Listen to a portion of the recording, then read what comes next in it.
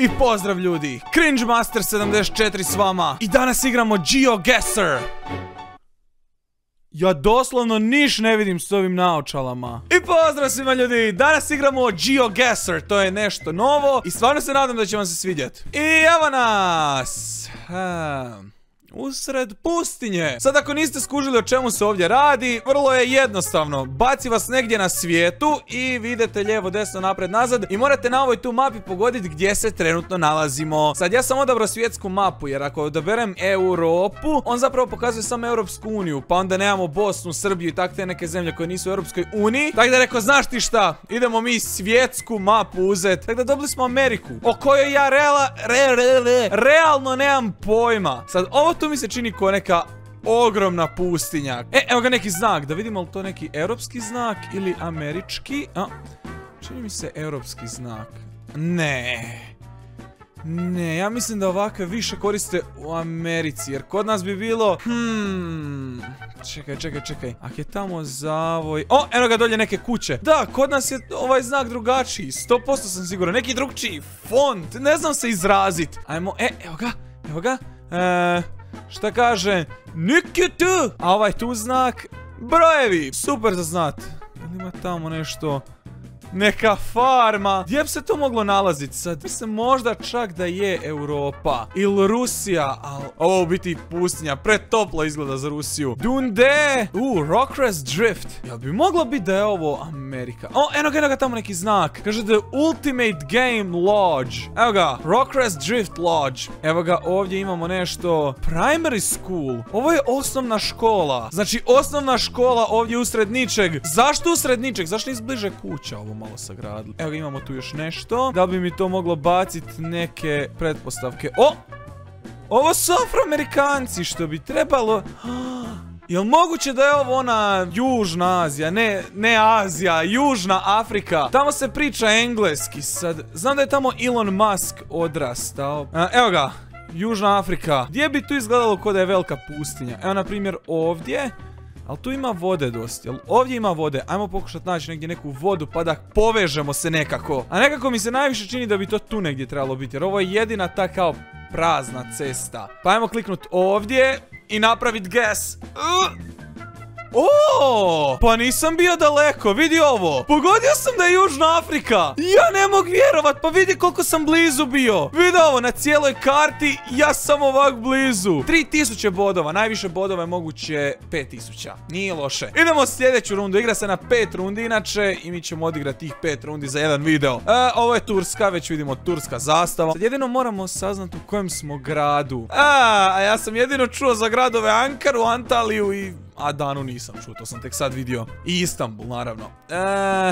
Čekaj, moramo vidjeti negdje registarsku oznaku auta. A kad su one sakrivene, vi što su dobro napravili? Ovdje nigdje nema ono da se slučajno vidi negdje. Znaš što je bilo zeznuto? Da smo mi u nekom turskom kraju u nekoj drugoj državi. E to bi me onak zeznilo do kraja. Dalje, Ankara možda? Ajmo ruknit, Ankara i gotovo. Nema šta. Čekaj da vidimo. kakve su ovo ulice? Rukniću... Nije baš živi centar, ali evo, ovdje negdje. Make guess!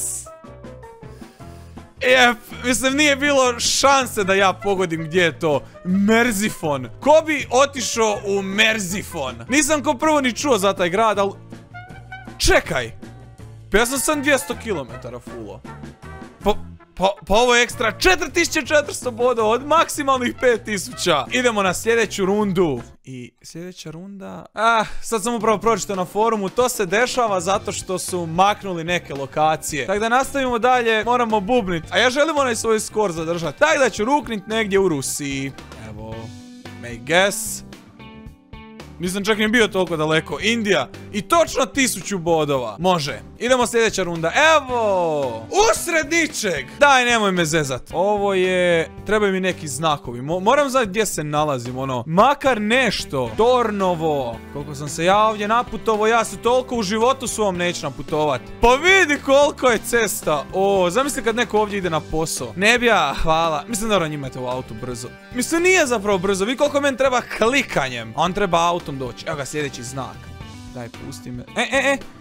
Prim, Prezimiraki. Da, ovo je definitivno Češka. Ajmo sam naći Češku. Češka, ja sam se izgubio. Znači Češka je ovdje, mislim mogla bi biti i Slovačka. Evo izašao sam iz ovog grada, da, ovo Češka mora biti. Znam da neće biti, ali eto vidite nisam toliko loš s tim lokacijama. Gdje ćemo naći nešto što nam može pokazati gdje smo? Do sad sam stvarno bio blizu, evo ga, Golenice i Rov. Mislim da se Rov čita. Ograničenje 40. Pa daj, gdje bi mogli biti? E, neka autobusna postaja. Vidimo što kaže Kejzerkov, ovdje je čovjek Volio bi njega stati pitat gdje smo kad ne znam. 7, 3 Ajmo brojat naći te ceste aki kako moguće. Ovo je Njemačka, Češka. Znaš ti šta? Ja moram buknit Ja ne mogu ovak više. Evo ruknut ćemo ovdje, tu. Make guess! Poljska.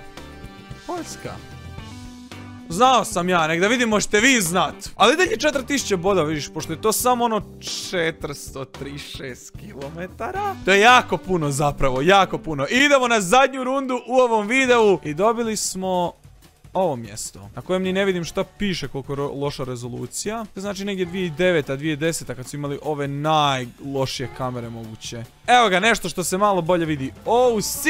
A daj. A, vidiš ove linije na cesti, to znači da je Amerika definitivno. Evo ga još jedan tipičan američki auto. I ova prikolica. Hmm. Zanima me li to više ono nešto kao turističko mjesto ili... A, ne vidim niš, pa de kakva vam je ovo rezolucija? Ja ovdje nastav tražiti opet one svoje znakove. Čekaj, kamion koji kaže Inter... Interstate. Šta je ovo, ST nešto? Neka država... Da, da, da, vidite američki ovaj kamion, zašto je ovaj kljunaš? Kod nas uglavnom nema takih velikih kamiona. Vidi ovo kako drva vozi ovdje s ovim velikim tegljačem. Ves, nešto... Ja ne znam više ni čitat. Ajmo reći da sam negdje blizu dolje Meksika. Je tu više ta neka malo pustinja. Ma da, idem ja rukniti, gotovo, to nema zazancije više. Evo ovdje. Eto, zašto ne? Make guess! Newbie, ok, great. Skroz go... Oh, pa da. Uvoz, izvoz iz Kanade bi imao jedino smisla. Da, da, da. Nisam bio blizu na ovom, al nikako nisam bio blizu. I evo, ovo je moj rezultat, ko što vidite. Nisam preloš, ali sam loš. Tako da, to bi bilo to od ove epizode. Ako vam se svidjela, ako želite još ovako nečeg novog, ostavite like, a mi se vidimo u sljedećoj epizodi. Pozdrav!